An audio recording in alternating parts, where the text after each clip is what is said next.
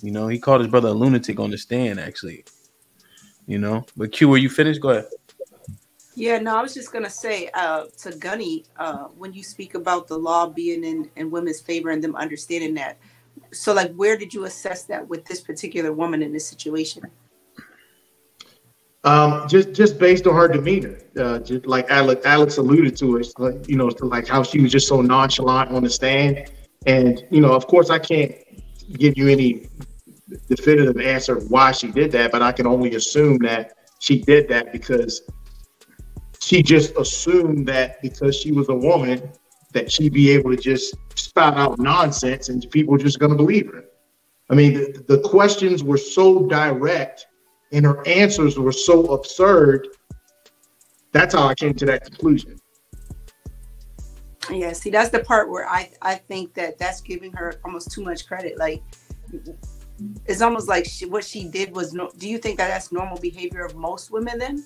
Because I think she's a sick bitch. I think something's wrong with her. And to that I do. Point, I, I, um, no. narcissistic narcissistic uh, behavior disorder does not get diagnosed d- diagnosed from what I understand because the narcissist themselves has to see themselves in that light in order to even get treated for it. So yes, it's not. I, I, I, don't. I don't think that that's most women. No, I, I don't. I, and I do believe that she is sick. She is. But as far as just the general public, there's a general knowledge. Let's say, for instance, you have a domestic violence issue or whatever in your house, and the woman calls the police. The woman pretty much assumes that the guy, if he's there, then he's going to be the one that's looked at by the police. And, that, and that's just general knowledge across all races. So mm-hmm. based on the culture that we live in, it's just, it's just common knowledge that people are going to believe women over men. That's the society that we live in. And, and, and that's what I saw on the stand based on her behavior. But yeah, she's, she's definitely a sick person. She's not, she's not like normal women. No, absolutely not. And I'll mm. base that on the, the level of her lying, not like to your point, yeah, is it norm- normal for a woman to think that if they call the cops, the law is going to be on their side? But it's the line and the way that she did it for me that that is what I'm looking at. No, I, I, I agree with you. I, I, agree with you, but I, I think that we're kind of saying the same thing. I just think all those things are, you know, all those things are part of it. Well, I think Gunny is being a little nice. I think women do have unrealistic expectation about shit being unfair in their favor because men haven't been taught to protect themselves against women. It's okay for a girl to hit you. You can't hit her back. She can yell in your face and do all this, that, and the third, and you got to take it. Yeah, I mean the Me Too movement and believe all women, those are real. So I don't know. I think there is some type of subtle expectation, and I think it might be an underlying current in all women. And we all know that, and no one on this panel and no one watching the show can deny it. That's an absolute fact. No one can deny that. That's that's Gunny, the truth. We, okay, so Gunny, so I stop being nice. You stop being nice. that's the that's the truth though. That's that's the that's the world that we live in. Believe yeah. all women, regardless. What you think? Yeah. Oh, go ahead, go ahead, go ahead, Q, go ahead. No, I was gonna say I think there are some changes being made, right? Like there are some women who are understanding now that if you do too much, you might get washed by a nigga, and that's between you and him. I don't think everybody's ready to jump in that shit, and not everybody sees it. Like, like I think there was a time where, like, yeah, that whole girl power shit and all that, but now it's like you really see people doing too fucking much, and I think what created that move was a lot of women in our generation becoming boy moms, where it's like you you displace yourself and you're like, oh, that was my son, and you was acting like that. Hmm. That Do you fair. think we're there now? Mm-hmm. Or we move, we're, we're moving towards that point. No, I think we're there now. I think you delusional bitches that have that narcissism shit in them, and then I think that there's women who understand. You put your hands on this man, you're doing too fucking much. If he slapped you, that's on you. Mm. Yeah, and, and, I would disagree with that. I, I, would say that in our current society, men are guilty until proven innocent, and women are innocent until proven guilty. So Isha, you want to get in on this?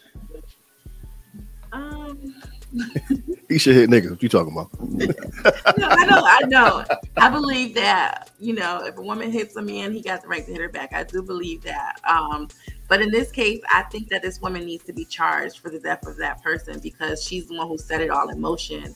Um, I also think that even with him shooting after them until they drove away, that was needed because now they know where he lives at.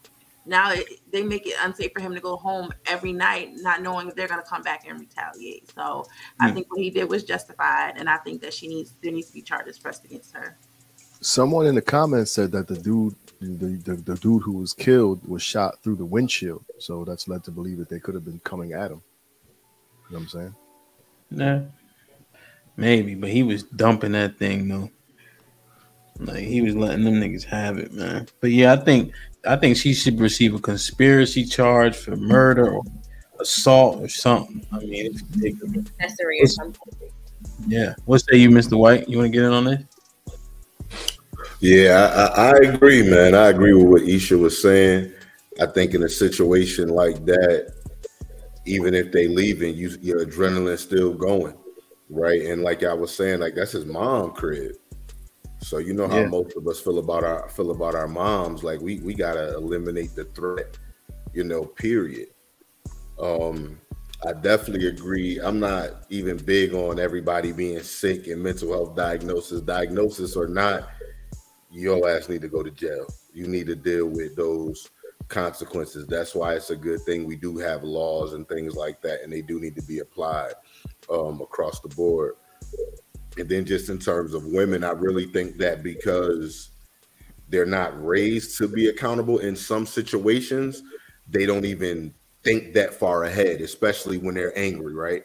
So she's like, "Oh, she's mad, yo, go shoot this nigga shit up." She's not thinking, "Okay, I'm I'm, I'm putting my brother in danger now." You know what I'm saying? To him possibly getting killed or possibly being arrested or you know going to prison, all of these consequences for him, she can't even see outside of her feelings. And I think a lot of that is because of the way that we are raised and how typically they don't experience consequences. They are so, you know, protected.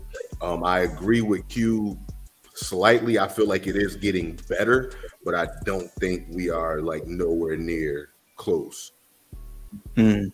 Yeah, I think you see it with the. You ever see some of the gym influencers? Like men don't be helping them. Like one lady, the the um, barbell fell on her chest. The motherfucker was not going over there to take that off. Like, you know what I mean? Because ain't no telling what happens when you go over there. You know what I'm saying? You know, real shit. Like, yo, I ain't gonna. I'm gonna hold. I ain't gonna hold you. Like, I saw this clip where an old white guy he fell in the middle of the street. It's raining and all that. He fell off his cane and shit. But I don't know if I would go out there. I'd probably like call the police. if I if I go out there, I'm standing over this old white man, and the police pull up, right? He he slipped. He don't know why he slipped. He come to. It's a it's a big black dude standing over him. Oh, he pushed me down. Hell nah. Uh-uh. I'm calling the police, bro. It ain't worth I mean, they probably give you some slack if you got that merce on. Yeah, I hate I hate the fact that I set trends, man. You know, somebody had to do it. Damn, man. Interesting, interesting. Like, share, subscribe, tell a friend, and tell a friend. Hit that like button right now if you can. That helps the channel the most. I just wanted to hit that because I wanted to make sure we was all on the same page about the, how disgusting that was. How she was on the stand, how she did not give a shit. I think Q is 100% correct in the fact that she's a narcissist, but I don't think it's a disorder. I think it's her and how she was raised. And she think her shit don't stink and she needs somebody to push her shit back like the I mean, I ain't gonna go too far with it, but you catch my drift.